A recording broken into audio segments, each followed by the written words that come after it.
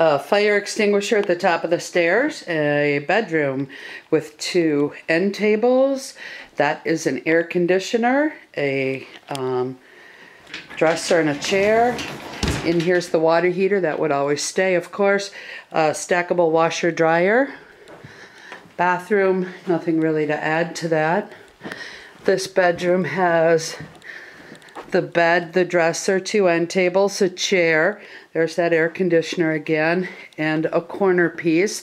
In the closet is a bookshelf or shoe shelf if one has lots of shoes, and I believe we do. And that's it. Thank you very much.